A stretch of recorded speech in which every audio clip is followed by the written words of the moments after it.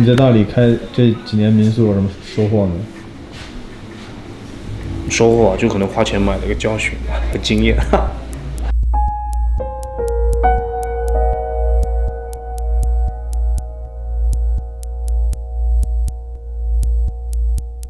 如果现在你再给我一个机会做这个民宿的话，我应该能省个六十万，但能够出同样的效果。以前是不是把事儿想太复杂了？对，就不懂，其实就是不懂。你不懂的时候做东西就是就纯凭自己喜好来做或者感觉来做。其实那个很多时候自我自我感觉或自己喜好其实是不靠谱的。嗯，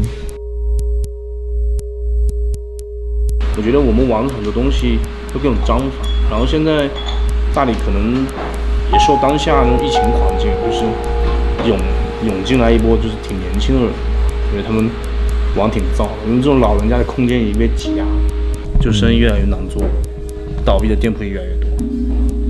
整个大理其实还是还是挺 OK，至少在国内像自由度、包容度，我觉得能排到第一吧。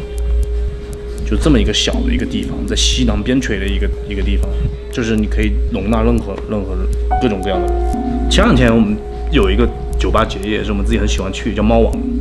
那天晚上有一人裸奔，两百多人现场喝酒，那个人裸奔跑了五圈。就只有到那种地步，大家才觉得这个事情好像有点夸张了。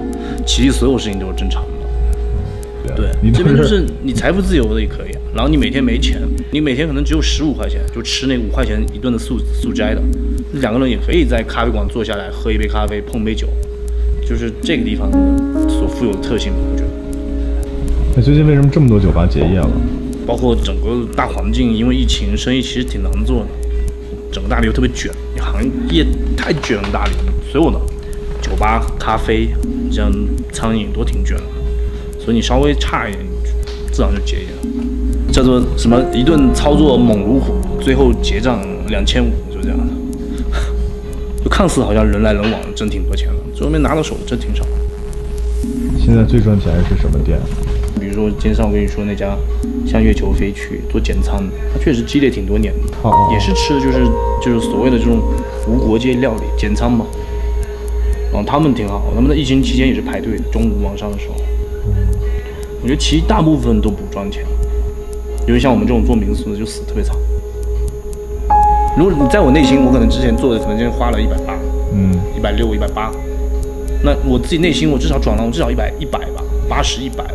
那现在可能在大理的话，三十可能会会有人要，五十都不一定有人要。